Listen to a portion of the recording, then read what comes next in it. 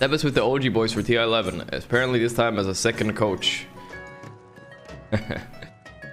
it says second coach, but you see the way he's looking at Misha, guys?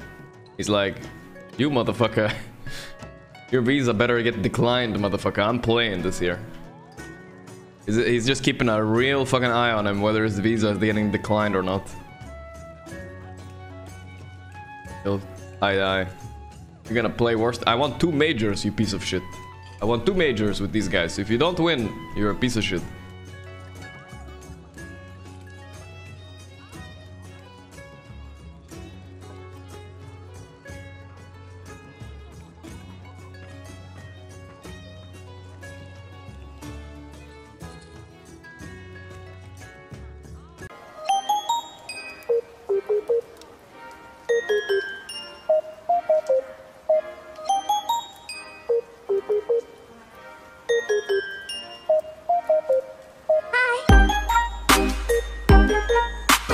Hi.